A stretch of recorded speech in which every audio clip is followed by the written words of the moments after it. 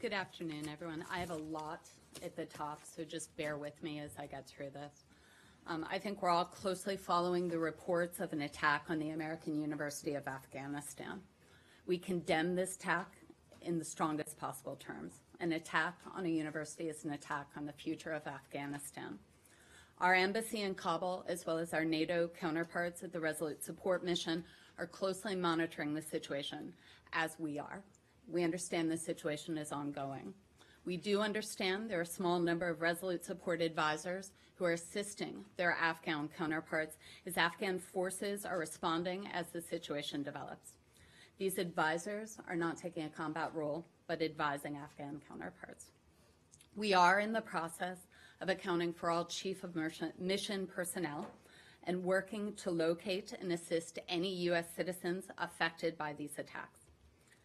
The U.S. Embassy in Kabul did issue a security message warning U.S. citizens of the attack and advising them to avoid the area until further notice. Our travel warning for Afghanistan warns U.S. citizens against travel to Afghanistan because of the continued instability and threats by terror attacks against U.S. citizens. We don't have any additional information at this time. However, we will continue to update you as we can. On the two earthquakes that happened um, today, we express our deepest condolences to all those affected by the earthquake that struck central Italy. Today, Secretary Kerry spoke to the Italian foreign minister and made clear the American people stand with the Italians in this difficult time. He offered any U.S. assistance Italy may require and pledged to stay in close contact as search, rescue, and recovery efforts continue. We're also aware and have seen the reports of the earthquake that struck north central Burma today. We offer our deepest condolences as well to the families who lost their loved ones.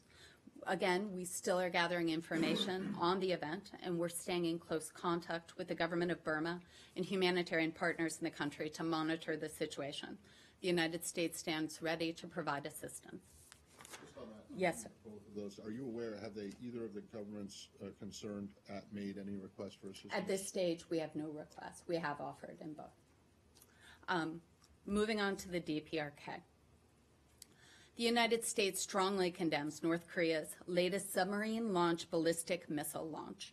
We call on the DPRK to refrain from actions and rhetoric that further raise tensions in the region and focus instead on taking concrete steps towards fulfilling its commitments and international obligations.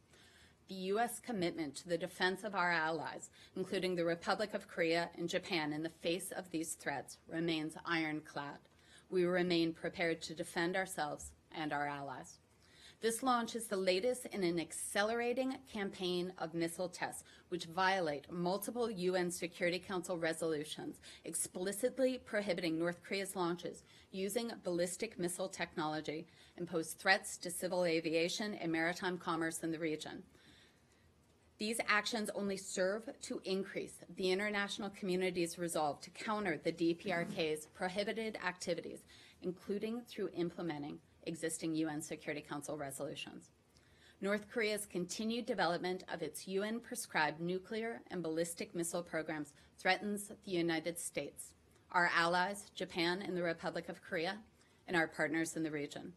We continue to assess the situation in close coordination with our regional allies and partners.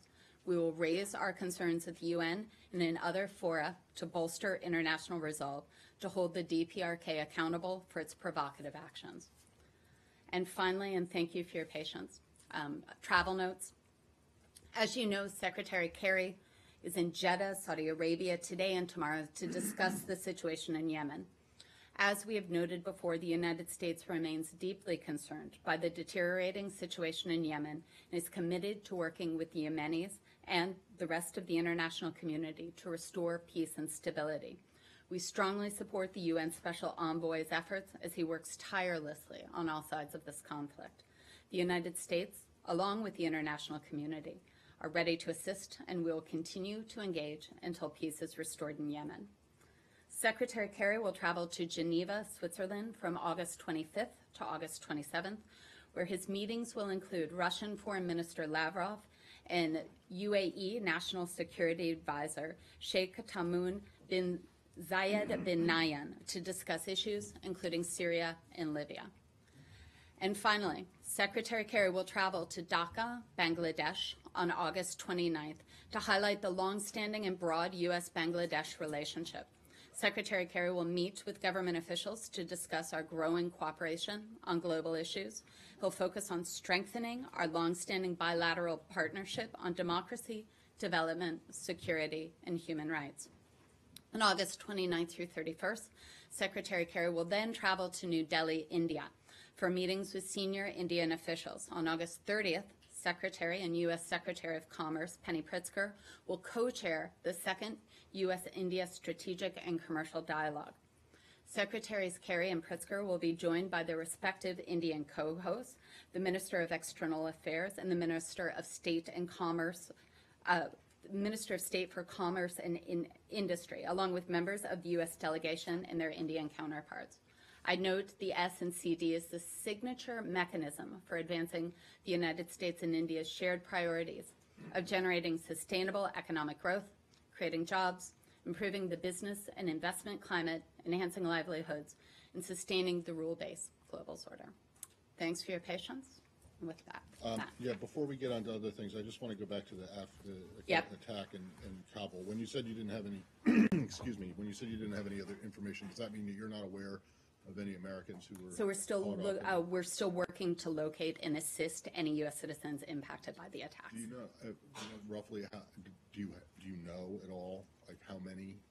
Um, I don't. As you know, as we don't require U.S. citizens to register overseas, you know, in something like this, we would always encourage people to register with the STEP program, but no. But as far as you know, there was no one from the embassy or no official Americans? We're still doing chief of mission accountability Oh, so- right now. Exactly. Americans being at the university, either At this officials or stage, we're, we're non-official? still working to account for all official as well as private Americans in Kabul. You have a a final number that? I don't No, know, we mention- would, we, we would not have a number like that to share, Syed. Is it, meetings in Saudi Arabia, a senior. Are we done with Afghanistan? I'm sorry, Michelle, I just want to close this one out because it is a big news story. Are we okay on that? Okay, go ahead, Michelle. A senior U.S. official has said that uh, the secretary will present proposals on ending uh, uh, Yemen's conflict uh, and resuming peace talks. Okay, Can you elaborate on that? What kind of proposals? uh, Yeah, I'm not going to get ahead of the meetings on this. You know, as I said at the top, we remain committed to a peaceful, sustainable solution in Yemen. Uh, we strongly support the UN Special Envoy's work. Um, we'll let those meetings happen, and if I have more of a readout, I'll certainly offer that, And Michelle. what's behind the participation of uh, UK uh, foreign minister in these meetings tomorrow? So I'm not going to confirm the participation on that. What I would say is what I said, which is the international community is very seized with this. You know, we're looking broadly at our international partners um, to move forward on a peace process in Yemen. Well, Last week, uh, on the same topic, uh, the United States withdrew its advisors that were helping and assisting the Arab coalition in bombing Yemen and so on.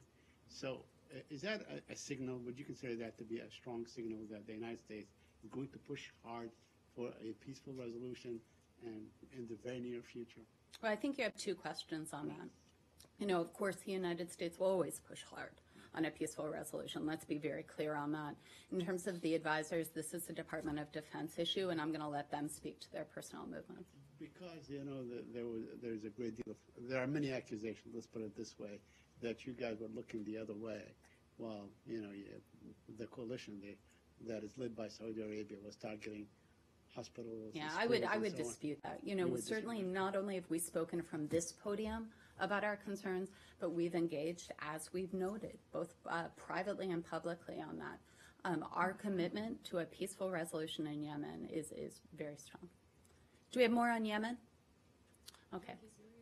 Do we, are we okay to move to Turkey? Syria, I, I would just, Yep. In Ankara, Joe Biden said Kurdish forces must move back across the Euphrates River. He says they cannot, will not, under any circumstances, get uh, American support if they do not keep that commitment. Uh, end quote. I, I want to ask you about the geography of what Joe Biden uh, meant there. Uh, I'm looking at the at the map here, and moving back across the Euphrates River would mean moving to the Kobani side.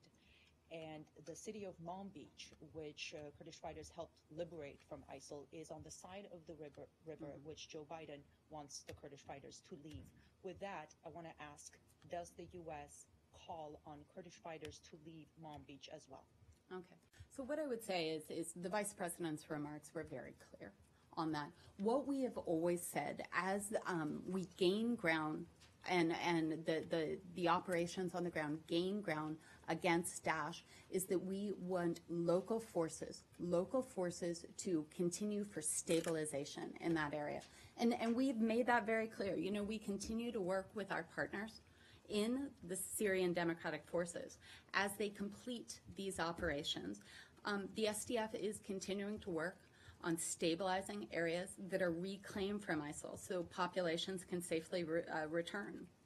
You know, in terms of, you know, the, the Kurdish population, we do have commitments, as we've spoken to before, from Kurdish leadership, that those forces who stabilize the area will mirror the local populations. Um, we believe that that's the best solution for a long-term sustainable peace. Uh, the local population who stays and rebuilds that area and, and restores local control when that's stabilized. Kurdish forces are part of. Hold on, can we, can we I'm sorry, finish, yeah? Thank They you. are part of the local, local forces there, but uh, um, Joe Biden, uh, Vice President Joe Biden, calling on Kurdish fighters to uh, move across the river, does that also include a call on Kurdish fighters to leave the city of Manbij, which, which is on the side of the, on the other side of the So, river? so I'm, I'm not going to parse the vice president's word. What we would say is that we believe that local forces need to be in control of the, of the areas that have been liberated by Daesh. Lori, you had a question? What, what will happen if the YPG does not withdraw from west of the Euphrates River and move back east, as what the vice president said they had to do today? What do you expect might Well, you're asking me a hypothetical. The Kurdish commanders have made commitments. We expect them to live up to those commitments.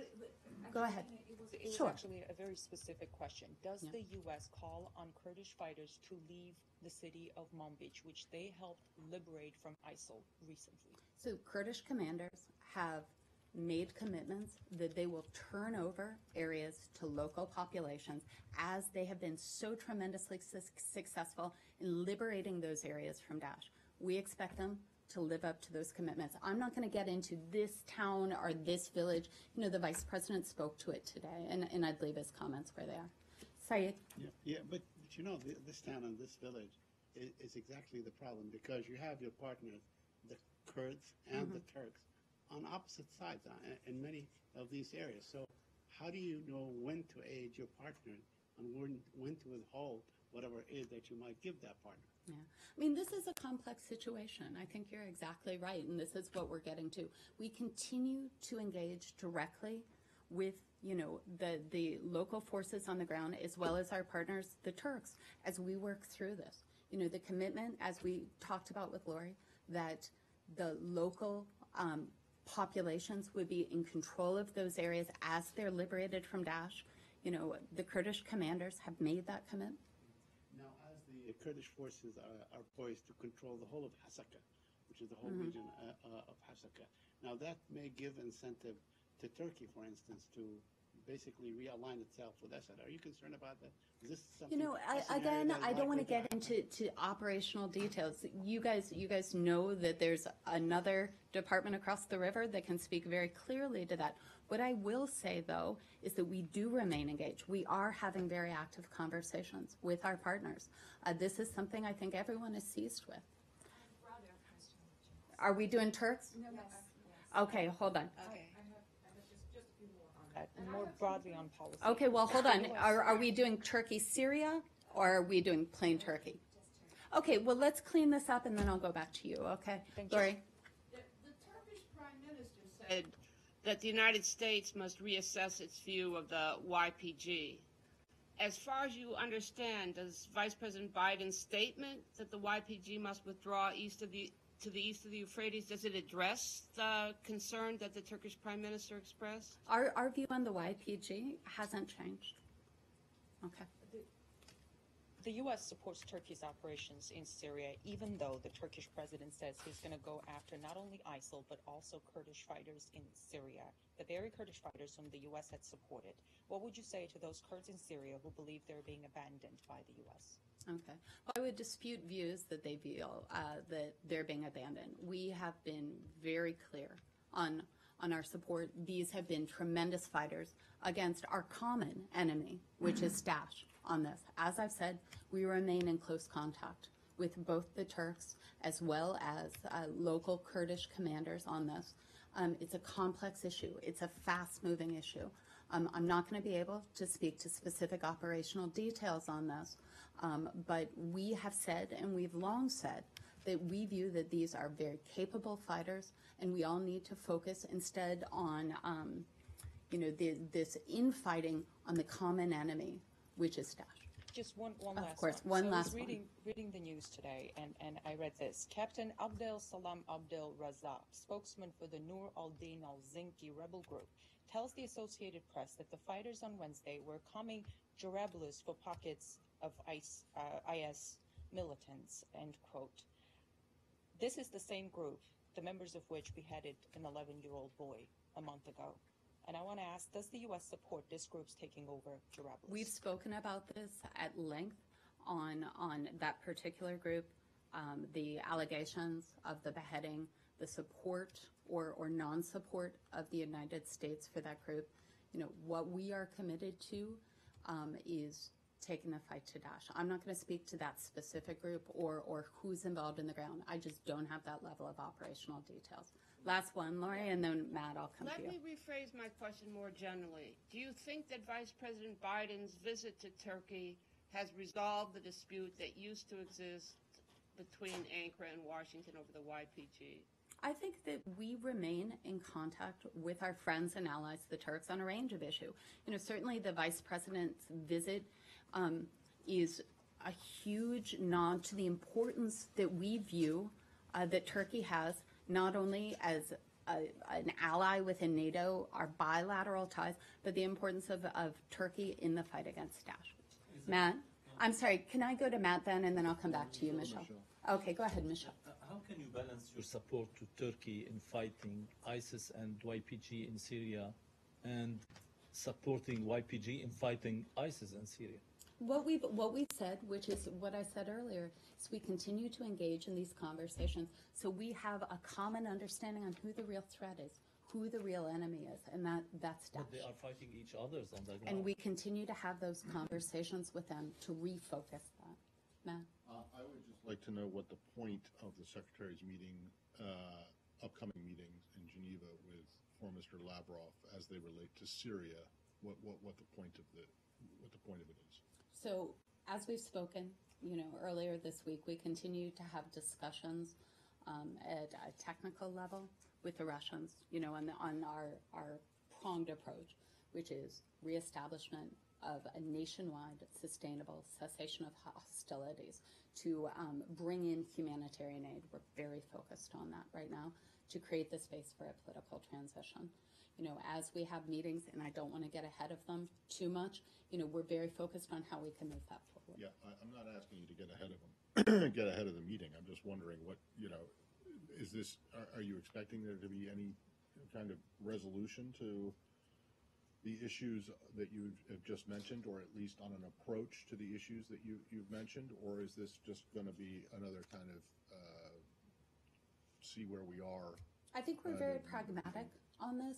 You know, I think that. Well, well, that's that- good, but what does that mean? I, I think that we don't want to, we want to be um, very measured in our expectations as we go forward into this meeting, um, but we believe the meeting's worth having. Yeah, well, obviously, you believe it's worth having because you're, you're having it. But the question is whether it actually results in anything. And I understand that you want to set expectations low because frankly, that's where they should be considering what's happened at all the previous meetings. But when you talk about restoration of the nationwide uh, cessation of hostilities, is there not a focus primarily on the situation around Aleppo? Certainly Aleppo is a huge priority. The access for humanitarian aid is a huge priority. Um, we have a laundry list of And- issues. Okay, so can you be more specific? You know, about the and- laundry list? that, what I would say is exactly what we've said. The three prongs, you mentioned Aleppo, absolutely a priority going in. I can't get ahead of, of where we are in I'm discussions. not asking you to get ahead of it, but, I mean, are you looking to, uh, ha, to get an agreement on the kind of stepped-up cooperation slash coordination with the Russians, uh, in Syria that people have talked about for, you know, more than a month? Yeah, I can't, I can't get ahead of it. We are, So that's we not are, gonna be discussed at all? I, it, I would say that the path forward in Syria will absolutely be discussed. This, as well as Ukraine, will be part of the focus of these meetings. Focus very specifically at what I said, as well as Aleppo. Um, let's see where that goes. Are you continuing to make headway, uh, as uh, Mark Toner said yesterday? I think we continue to engage. Um, you know, I think that we um, have announced the meeting. We will have this meeting.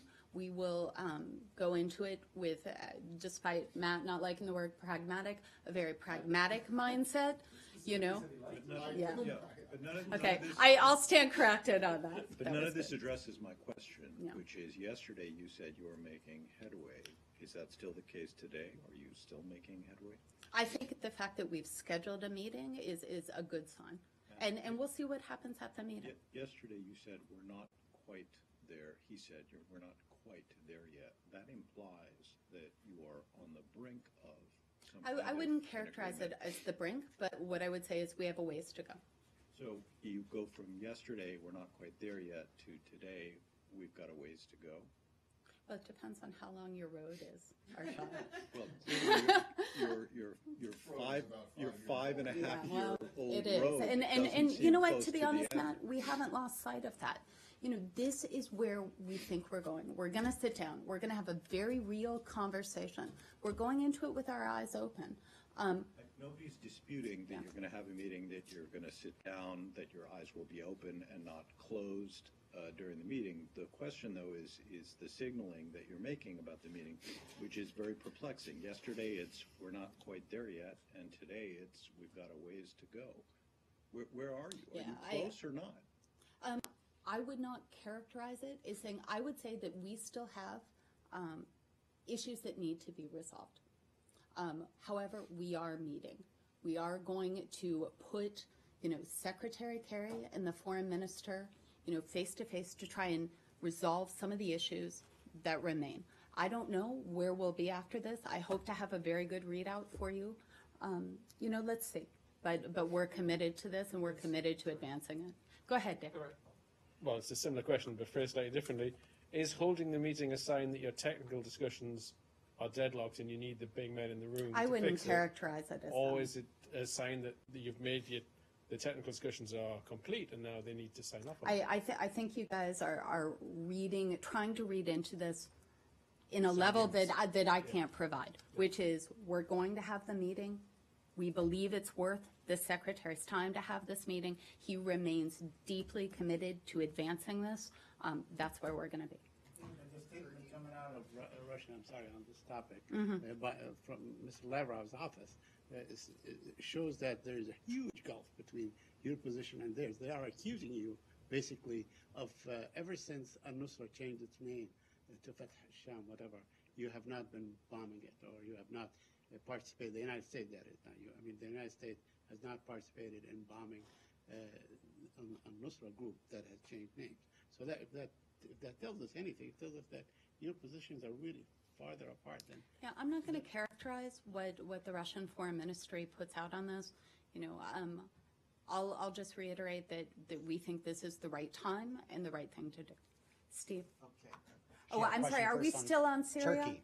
Turkey. Okay, let's go to Turkey. Okay, thank you so much.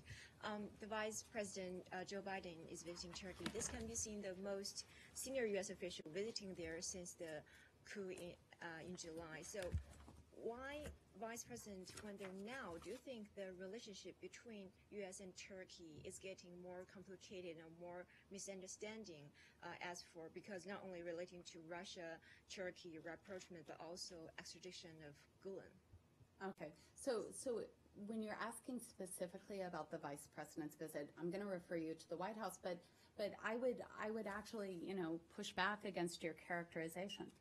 We say almost every day from this podium how strong we view our relationship with Turkey to be. You know, the vice president's visit there, I think is a sign of that. In terms, though, of, of the messages he sent, his particular meetings there, it's just not appropriate for me to speak to from here. Some, some media says rapid Russia-Turkey rappro- uh, rapprochement casts shadow on Western security order, and Biden visits Turkey to improve ties. So, to what kind of extent do you think Biden's visit will reach America's goal or rebuild the relationship? Yeah, I would, I would dispute that there's a, a, a relationship that needs to be rebuilt. Our tie, our alliance through NATO with Turkey is, is very strong. So you think it's a kind of rebuilt relationship? No, I just push back against that. No, the vice president's visit is a sign of how important we view Turkey as an ally and as a partner. On particulars, though, go to the White House. Related question. Oh, wait, are that. we staying on Turkey? Turkey, same. Of course. Uh, The vice president now is quoted uh, from a major news agency in Ankara saying that, God willing, there will be enough data and evidence to meet the criteria that Turkey sees related to the extradition of Gulen. Isn't this extradition, as far as the United States government is concerned, supposed to be an objective process? It sounds like the vice president's taking sides here. Okay, well, I haven't seen the vice president's remarks saying exactly that. You know, uh, Mark spoke to this a little yesterday. I would say our legal experts are working right now with their Turkish counterparts to evaluate the material, the evidence that needs to be supplied to meet the standards for extradition under our treaty. Um, they're meeting now. They will continue to do so. Um, as we've said, Turkey has provided materials relating to Mr. Gulen. Uh, we continue to analyze those materials. Um, under our laws, extradition requests must be assessed by an independent federal court along with the evidence backing it up. Um, I spoke to this, I think, last time I briefed. It always takes time to work through an extradition request. Um, however, there should be no doubt that we will continue to work through this, you know, working with our Turkish counterparts. But just to follow up on the Sure, question, James. uh, and perhaps in a way that doesn't require you to speak for the White House, does Secretary Kerry pray to God that the criteria will be met for Mr. Gulen to be extradited? We will continue to follow the letter of the law um, as signed in the 1981 extradition treaty with Turkey. Um, we will continue to work with our Turkish counterparts on that. It's still the case, as Mark said yesterday, that you have determined that what the Turks have submitted is, does constitute a, an- a formal Correct. extradition request, although not related to the coup. That is still the case, right? Correct. Is it not the case that once you have made such a determination that the judicial branch, that the executive branch uh, of government is supposed to take action to prevent the subject of an extradition request from leaving?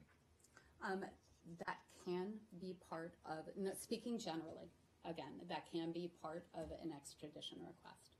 It isn't automatically part, is my understanding. I understand. Well, yeah, but, but that's what the Turks have asked. Yeah, I would, I would not be able to speak to parts of that extradition request. But forget, forget about the extradition request, but under your rules, mm-hmm. U.S. rules for dealing with extradition requests when they come in from a country that you have a treaty with, is it not normally the case that the person who is the subject of the extradition request is at a minimum confined or not, or So- told that they can't leave? So I, it is my understanding that that can be part of an extradition request brought forward. I'm not aware that any determination on that has been, um, um, been made. So it's not stan, it's not It's my standard understanding operating it's not procedure. standard, it could be. It could What do you mean by part that can be part of an extradition So request brought it's- forward? Do they have, do- does the country seeking the extradition have to specifically request It's my that? understanding, and um, I will say I'm not a lawyer, much to my father's chagrin, um, that it could be part. Okay. Can we stay on Turkey? Uh, Go ahead. We'll go to Ilham, then we'll go to you, Tijanda. Thank you. Just two quick questions. One of that, as we all know, there has been a, a very high uh, anti-American uh, environment in Turkey. Uh, do you expect this uh, rhetoric from Ankara to change after Vice President visit? You know, we've spoken about this quite a lot. Uh, we've spoken about our concerns with anti-American rhetoric. You know, our position hasn't changed. Turkey is a friend. And second final question.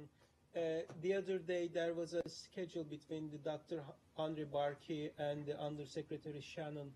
Uh, earlier, Mr. Barkey has been accused of being involved in the coup. Do you have any comment on this now? No, I, I would say the undersecretary meets with a range of people. You know, Dr. Barkey is um, an expert on Turkey. You know, we appreciate the opportunity to learn as, as we can from academics and think tankers on that. You know, I believe the Wilson Center spoke very clearly about the accusations against Dr. Barkey.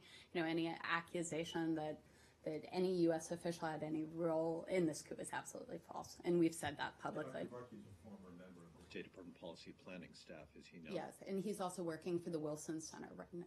So you believe he's not involved as well? Yes.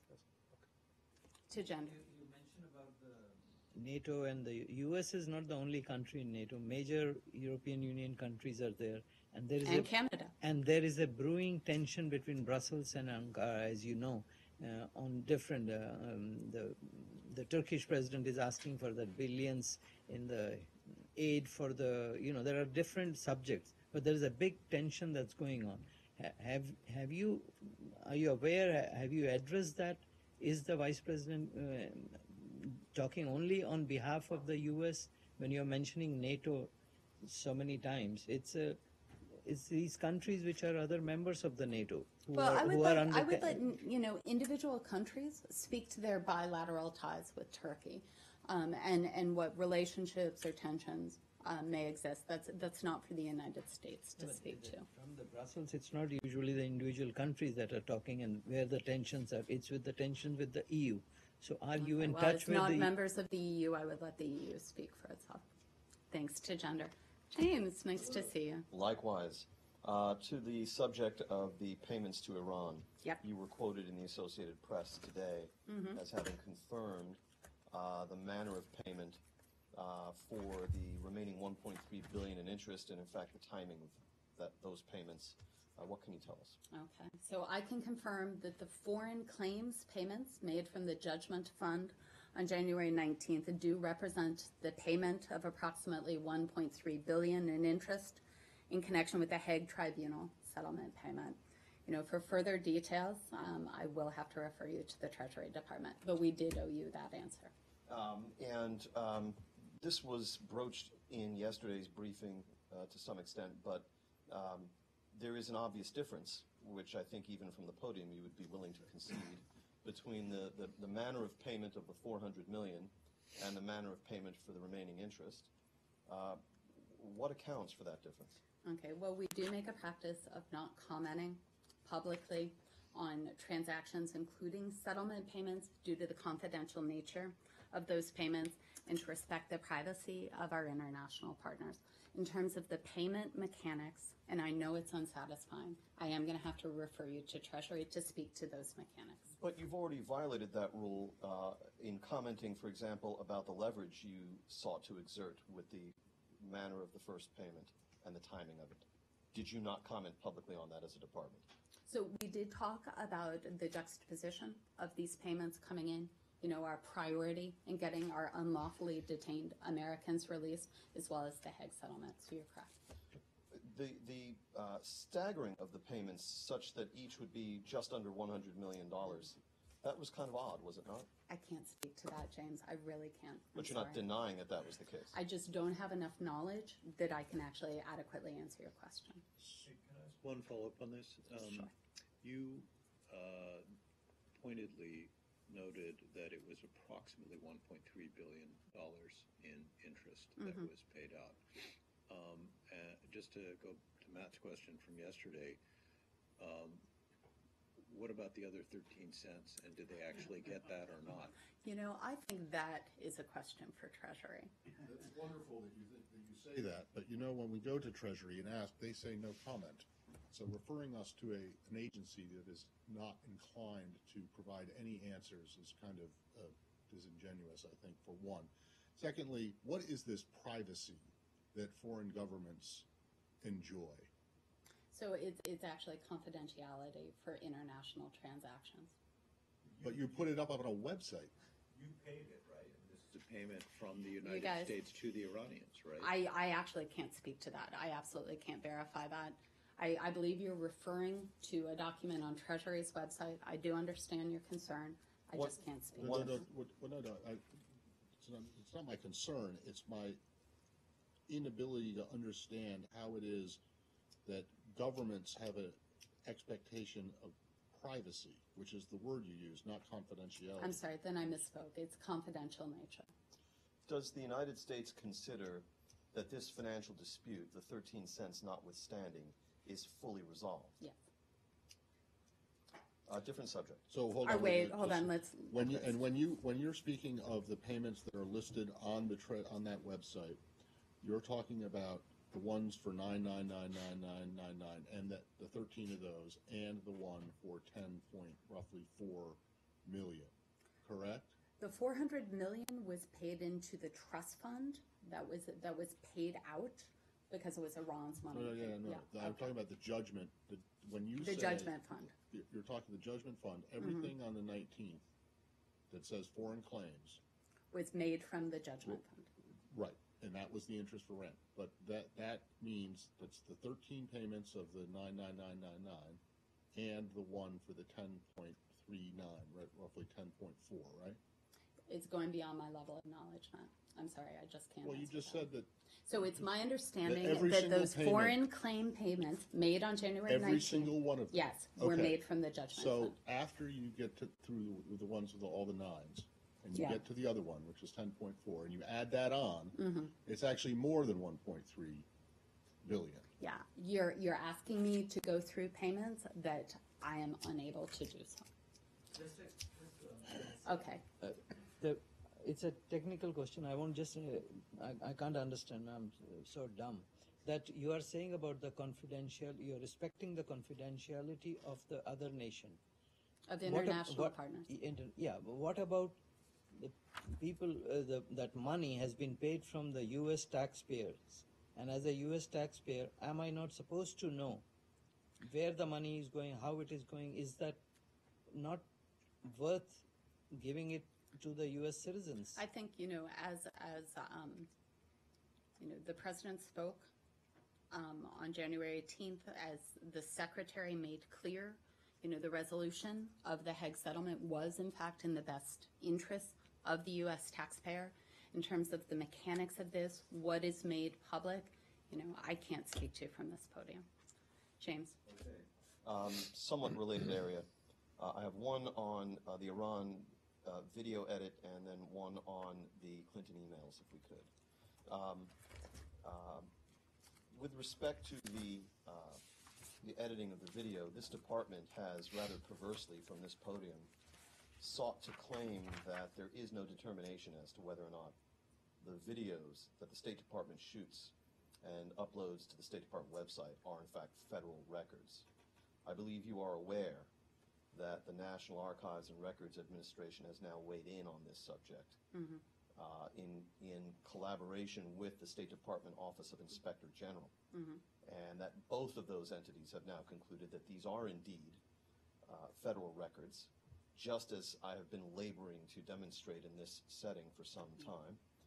Uh, What have you to say about that determination? We agree with NARA. Thanks for the question. The rules for how records need to be treated are set by record disposition schedules. Records can be permanent or temporary, which I think you understand NARA had, had pointed out. Um, the transcript is addressed in a disposition schedule on a permanent record.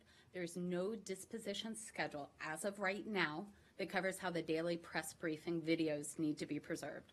Uh, we are working with NARA right now to create a disposition schedule for them, at which point it'll be clarified if the videos will be temporary or permanent. Um, you know, Kirby's mentioned this last week that we would be consulting. NARA has come back, and we agree with them. NARA stated that uh, it reached this conclusion after a query by the Office of the Inspector General, not a query by the Department of State. Uh, Did the Office of Inspector General convey this finding of their own, with which NARA subsequently agreed, to the department at any point along the way? I can't talk about timing. I will say that, that um, the Office of the Legal Advisor looked into it, and, and we have, we agree with NARA. We'll work with them, and we will set this schedule. Right, but OIG is separate from OLA. Very much, absolutely, and I couldn't speak for them. Okay, but I'm just asking if your department was informed by OIG that they had reached I this don't know, determination. I don't know who was informed by whom. Um, right now, we're very focused on, on setting the disposition schedule, and, and I would even back up. You know, um, Assistant Secretary Kirby has made clear, you know, there weren't rules on this. Um, there wasn't this disposition schedule. We're gonna fix this. We're gonna establish this. We're gonna set the rules. And also, frankly, he's set now the, the, um, overarching guidance for public affairs that this sort of edit will never happen again. You can claim, perhaps plausibly, that there were no rules in place to prohibit mm. a, a deliberate censorship of one of these State Department briefing videos. But federal statute was in place at the time that this occurred, the Federal Records Act being that statute. Now we have the opinion of both the Inspector General in this building and the National Archives and Records Administration that indeed these videos are covered under the Federal Records Act. Mm-hmm. So you would agree that at the time that this censorship took place, or shall we say more neutrally, the editing, Yes. uh, there was in place a federal statute that made it a crime to tamper with federal records and that these briefings were covered under that definition. Well, I wouldn't, I wouldn't be able to judge if this happened retroactively. What I will say is that what we know now is that we need to set a disposition schedule. Uh, we're working on it. Uh, we're gonna put that in place. Okay. Going forward then, tampering with one of these briefing videos would in fact be a crime, correct?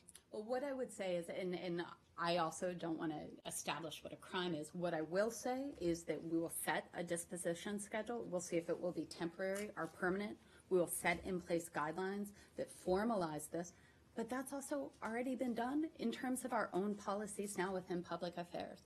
You know, Assistant Secretary Kirby has been very clear, and that guidance came down very early as soon as this was brought to our attention. So going forward, under the rules that Assistant Secretary Kirby uh, has put in place, tampering with one of these briefing videos uh, will be a violation of State Department procedures, Yes. and you have no view at all as to whether that would also constitute a crime. At this stage, no. Do you know why there was never any disposition schedule for I this don't kind know. of thing? Was it just an oversight? Did I think, people don't- you know, uh, what I I mean, would say. video of the briefings is, it, it, it, it postdates my, I mean, when- predates, sorry.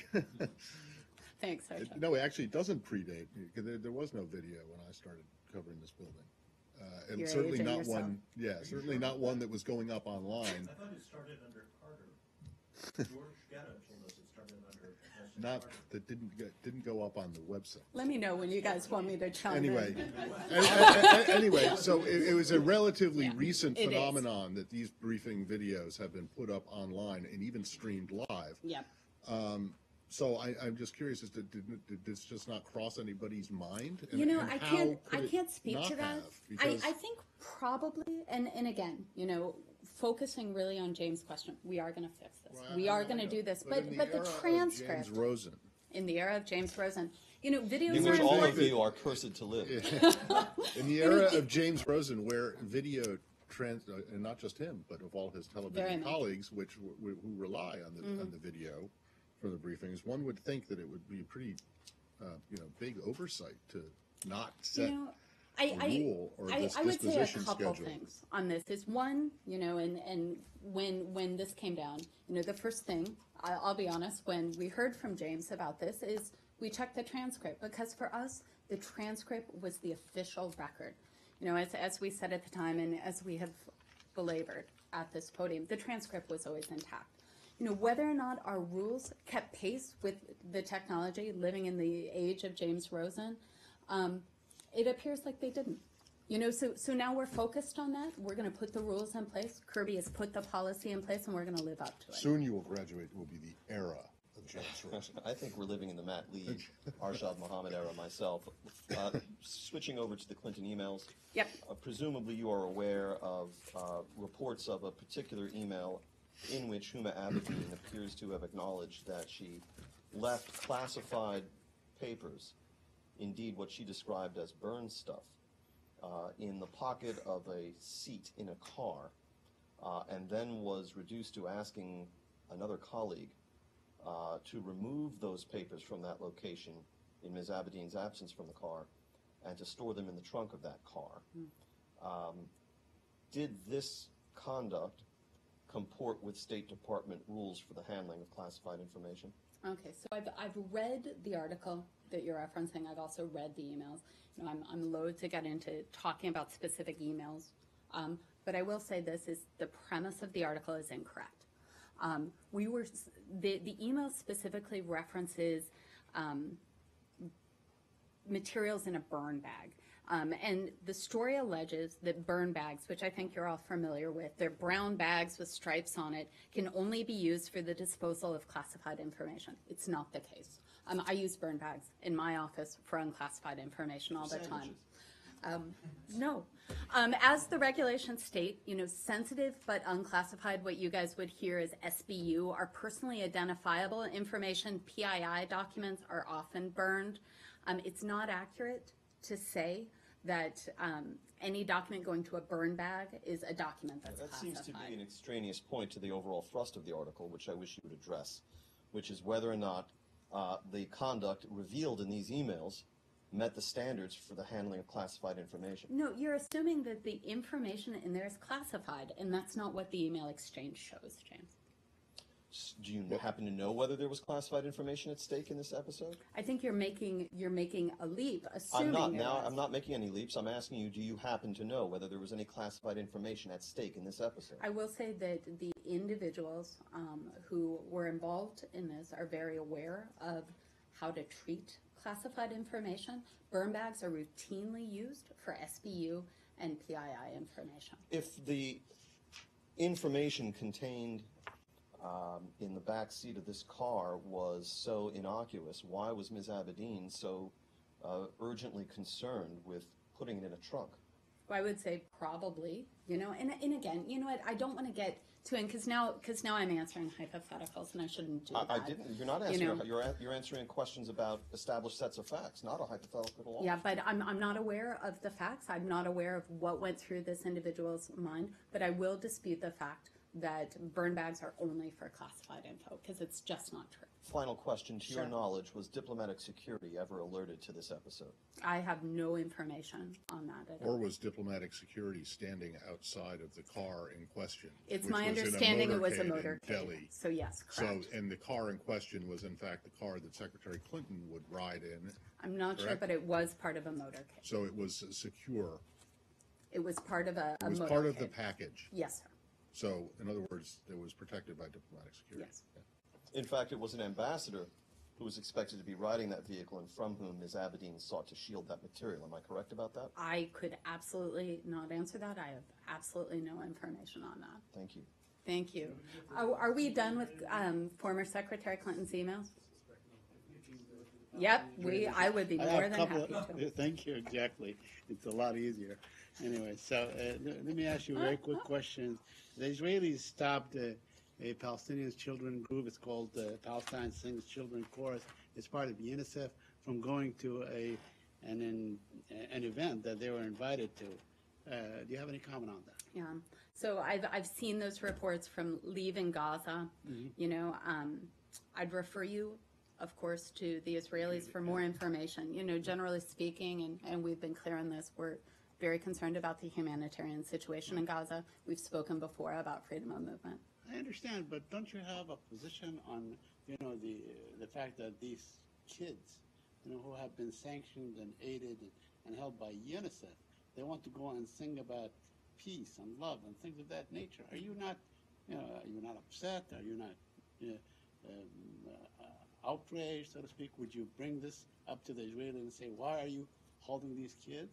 I mean, I'm not going to speak to this specific incident, but what I would say, which we've said multiple times, Saeed, is that we remain in close contact with the Israelis on our concerns on a range of issues that do include freedom of movement. Would you urge them to to allow them to go through and participate? You know, not knowing the specifics of that, I've seen the same reports you have. I just really can't speak in any detail. Okay, let me uh, also ask you on, on the advisory that you uh, released yesterday. The travel warning. The travel warning. Yep. Uh, because it was very strong uh, in language. I know um, that uh, it was, it was replacing or it replaced Yeah, it was a routine you should, update. uh, Last uh, December, but why the timing? Because it seems that, uh, you know, you're calling on, on Americans to leave Gaza. I think there are a number of. This was a Palestinians. routine update. It very closely mirrors what we've said in previous travel warnings as well.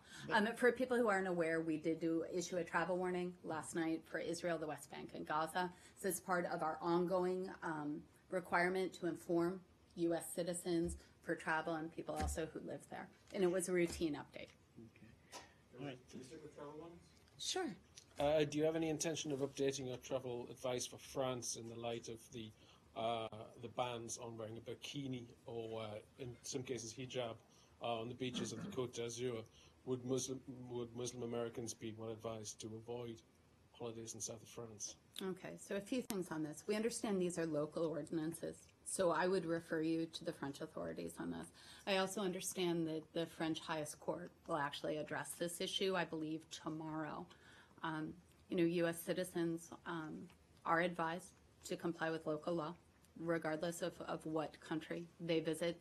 But on this particular very local ordinance, I, I would refer you to the French. So it's only if it becomes a nationwide, f- federal, a federal, uh, a federal law that you'll, you'll take? No, in- you know, we, we constantly look at, at specific areas. You know, we constantly look at the conditions for every country. We understand that this is, as I mentioned, going to be brought before the, the French court um, tomorrow on this.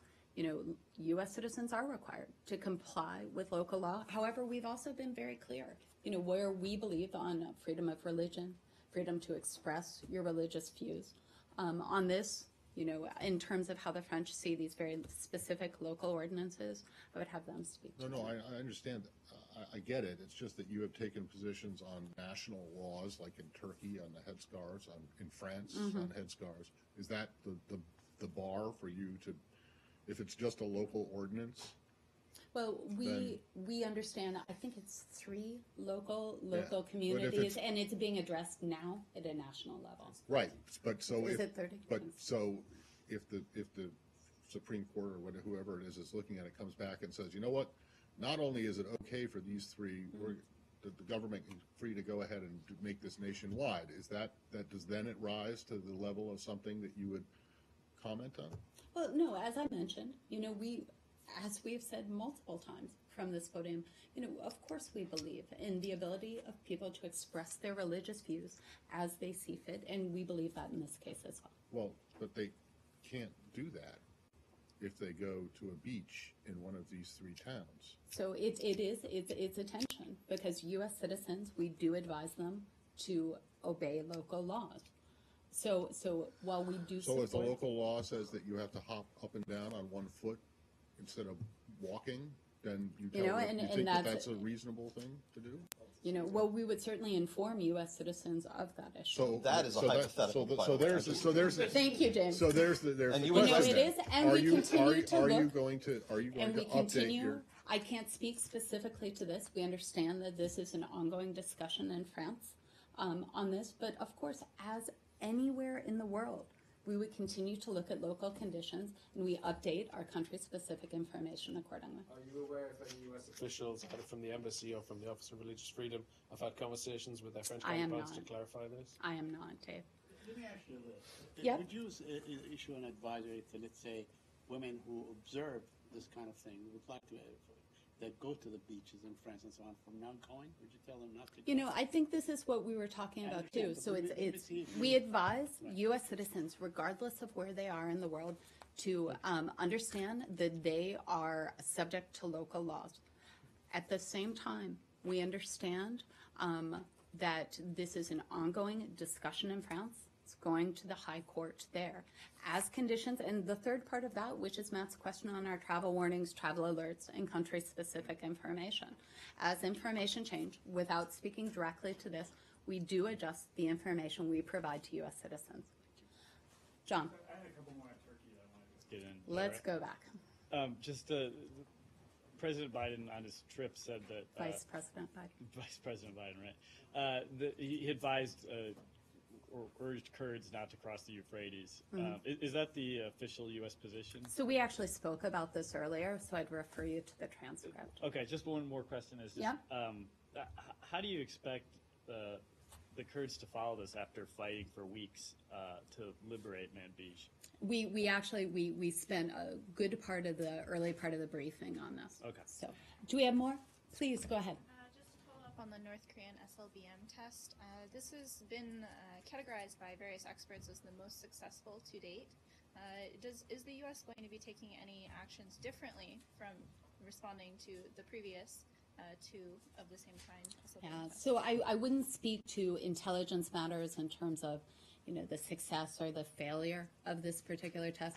Uh, what I'd reiterate, which is what we said at the top of the briefing, is that we'll continue to work at the UN as well as through other international fora, as well as with our partners to um, address. Sure. Are we doing? It's okay. Go ahead, Matt. All Stay right, seated. last one. Uh, just, I'm, I, I want to revisit the question that I've asked a couple times, and that is just to make sure, because things keep kind of changing as new stuff comes out. But in light of recent reporting on the relationship or the, the ties between the Secretary Clinton's State Department and the Clinton Foundation, is it mm-hmm. still the department's contention or determination that there was no conflict of interest, that there, that everything that was going on was appropriate and above board and followed the rules? The department's actions under Secretary Clinton were taken to advance administration policy as set by the president and in the interests of American foreign policy. The State Department is not aware of any policy decisions influenced by donations to the Clinton Foundation. I- I- Okay, not, not policy decisions, this latest reporting Yeah. is about, you know, access and meetings. Is it also the case that you've determined or that you're not aware of any um, preferential treatment given to um, donors? No, as, as, you know, as, as we've spoken to, and, and you know, and I'm sorry to belabor this, is, is You- that. No, I asked the question. Yeah, And I'm is- asking the question because more and more keeps coming Yeah. out. Whether- You know, as we've said previously, State Department officials are in range with a range of outside experts, individuals, organizations, nonprofits, foundations, academics. This is normal. This is this is part of how the info, uh, the State Department gathers information and informs um, our thoughts, um, pro and con, on any particular issue. one more on this, because I think The word that was previously used was impropriety, and that you were not aware of any impropriety. Is, can you stick with that? Yes. Thank you. Well, when the calendars of the Secretary of State reveal that more than half of the people outside the government who were uh, lucky enough to secure a face-to-face audience or a telephone conversation with her were in fact, through one means or another, donors to her family foundation, doesn't that raise some legitimate questions about whether preferential treatment was in fact being given to those donors? I would dispute the idea of preferential treatment. I think you're referring to the AP article. And though Matt has shown himself as being perhaps the only person in the briefing room who can do complicated math, um, I won't. I won't unpack uh, the math numbers on that. Um, I do know that AP said that they did not take into account Secretary Clinton's meetings with foreign leaders and diplomats, as well as U.S. government officials, to arrive at their calculations.